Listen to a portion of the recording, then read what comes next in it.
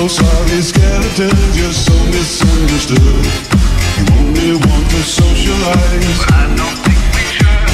A spooky, scary skeleton shouts startling, scary screams. They'll sneak under sarcophagus and just won't leave you be.